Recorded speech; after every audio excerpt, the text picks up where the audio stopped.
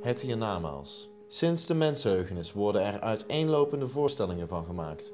In de geïllustreerde atlas van het hiernamaals beschrijven Guido Derksen en Martin van Moesch 5000 jaar van cultuurgeschiedenis over verschillende onderwerelden, helleputten en hemels.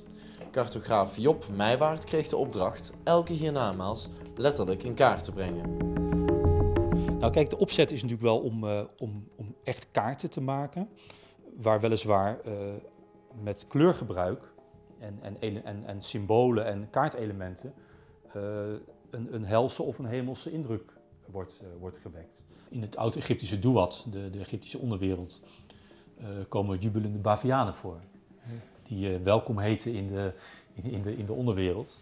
Dus er staat echt een haag van jubelende bavianen, moet je je voorstellen. Nou, dat heb ik nog nooit op een kaart weergegeven. Meijwaard heeft onder andere kaarten gemaakt voor de grote bosatlas. Maar voor dit boek moest hij op een hele andere manier werken. Eerst kreeg Meijwaard van auteur Guido Derksen een schets aangeleverd. Op basis daarvan ging hij aan de slag om er een kaart van te maken. De schets van de auteur, de, de beroemde uh, helle omgangen van de, van de helle put van Dante. Enorm veel informatie moet daarin.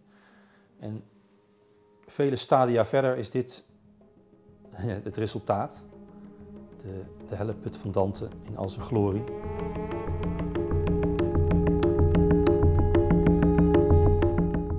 Het, verkennen van de grenzen van de cartografie door de technieken die we, die we hebben toegepast. Het werken met, met uh, fictief materiaal is natuurlijk uh, ontzettend leuk.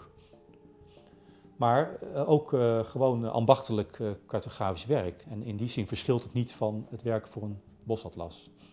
Ik denk dat het materiaal hier wel echt tot de verbeelding spreekt.